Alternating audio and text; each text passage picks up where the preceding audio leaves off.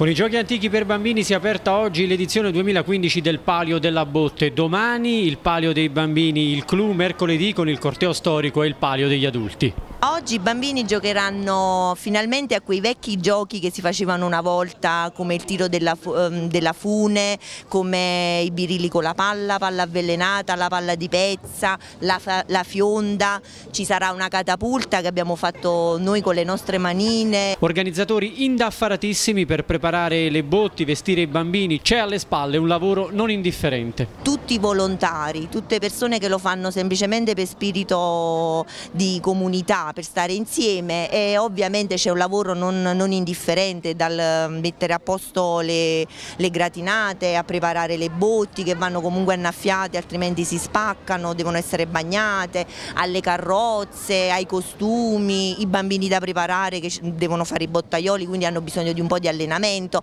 eh, c'è un bel mesetto dietro di lavoro. Di contorno il lavoro delle associazioni di volontariato, gli stand di Libera e quelli del mercato Equo e Solidale. Questo già è il il secondo o terzo anno che stiamo in, insieme a, al Paglia della Botte e I nostri prodotti sono quelli di, di, Libera, i prodotti del commercio di questo solidale, i laboratori artigianali che, che, sono, che sono con noi in tutte le occasioni. E poi la memoria storica di questo palio, di chi negli anni lo ha visto cambiare. È necessario che si mantiene la tradizione quello è, perché da parecchi e parecchi anni non si faceva.